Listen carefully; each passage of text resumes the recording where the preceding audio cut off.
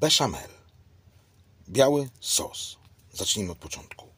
Patelnia, na patelnię masło lub do rondelka. Podgrzewamy masełko rozpuszczone, wrzucamy mąkę. Mieszamy mąkę równo z masełkiem, żeby się ładnie połączyły i zaczynamy ją zasmażać, podsmażać, żeby gluten zaczął się nam leciutko rozpuszczać. Kiedy gluten się zaczyna rozpuszczać, staramy się bardzo delikatnie tylko zasmażyć tą mąkę. Wystarczy, lekko zmieniła kolor i już jej wystarczy. Chwilkę niech sobie popyka i teraz dodajemy mleko. Zaczynam mieszać, zamieniam łyżkę na rózgę, żeby nie było grudek, żeby się to nie przypaliło. Pilnujemy, zmniejszam grzanie, czekam aż zgęstnieje. Zgęstniało, widzicie, nie ma grudek, ładnie. Teraz dodaję drugą część mleka. Tego mleka jest pół litra, podzielimy sobie na trzy. Jeżeli chcecie mieć gęsty sos, taki beszamelowy, tylko dodaję jeszcze sól i pieprz do zapiekania, to już nie dodawajcie tej trzeciej części mleka.